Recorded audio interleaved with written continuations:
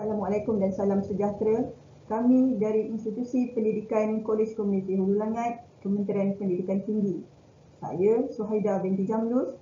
Saya Siti Syahidah binti Ahmad ingin membentangkan tentang faktor-faktor yang mempengaruhi pencapaian subjek matematik pengurusan bagi pelajar sijil pengoperasian perniagaan di Kolej Komuniti Hulu Langat.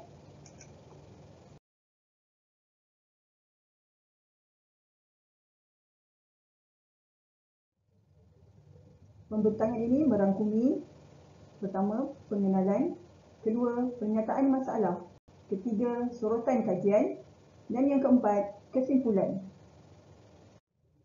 Pengenalan Menurut Nur Ajlan pada tahun 1995, ilmu matematik itu penting untuk membantu seseorang memahami kiraan matematik yang digunakan dalam kehidupan seharian.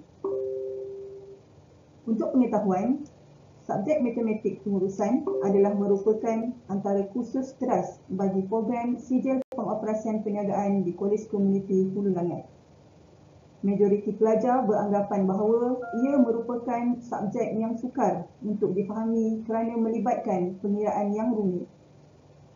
Diharapkan hasil penulisan ini akan menjadi panduan kepada pensyarah matematik pengurusan di Kolej Komuniti untuk membantu pelajar yang lemah dan mengenal pasti teknik pengajaran yang akan dilaksanakan semasa sesi pengajaran dan pembelajaran.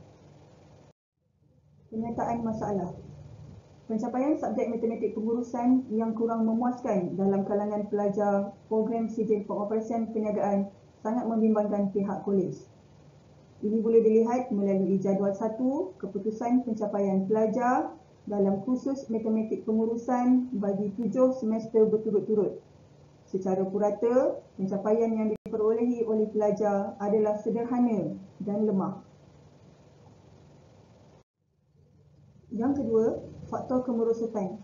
Daripada kajian-kajian yang lepas, banyak perbincangan mengenai faktor-faktor yang menyumbang kepada kemerosotan dalam pencapaian pelajar dalam subjek matematik. Namun, masih kurang kajian yang memfokuskan kepada pencapaian subjek matematik pengurusan dalam kalangan pelajar kolej komuniti.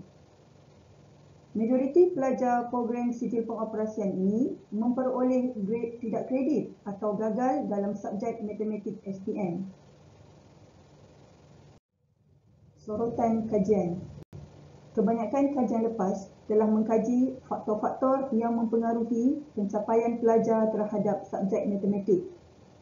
Walau bagaimanapun, artikel konseptual ini hanya memfokuskan perbincangan terhadap beberapa faktor relevan yang berkaitan dengan pencapaian pelajar kolej komuniti. Artikel konseptual ini membincangkan faktor kefahaman konsep, sikap pelajar, gaya pembelajaran pelajar dan strategi pengajaran pensyarah terhadap subjek matematik pengurusan. Yang pertama, kefahaman konsep. Menurut Azizi dan Elanggoven pada tahun 2010, kefahaman ini akan membantu pelajar untuk menerima pelajaran matematik di peringkat yang lebih tinggi dengan lebih mudah. Ini kerana konsep matematik saling berkaitan. Pemahaman sesuatu konsep adalah bersandarkan kepada pemahaman konsep-konsep sokongan yang lain. Pelajar yang berjaya menguasai konsep matematik diandaikan telah memiliki ilmu pengetahuan yang berkualiti dan ianya akan memudahkan penerimaan input baru yang akan dipelajari di peringkat yang lebih tinggi. Pemilihan sampel secara rawak di antara pelajar yang mendapat keputusan cemerlang dalam matematik pengurusan telah dilaksanakan dan hasil semakan dengan keputusan SPM pelajar terbabit mendapati majoriti adalah pelajar yang lulus subjek matematik SPM. Ini membuktikan bahawa kefahaman konsep matematik sangat membantu pelajar untuk mencapai kecemerlangan dalam subjek matematik pengurusan. Yang kedua, sikap.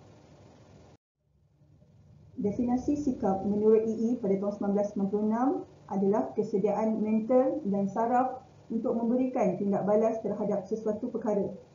Manakala menurut Rahil pada tahun 1995 pula, Sikap adalah sebahagian daripada personaliti individu yang dipengaruhi oleh pengalaman dan akan memberi kesan kepada tindak balas seseorang individu dalam menghadapi sesuatu perkara.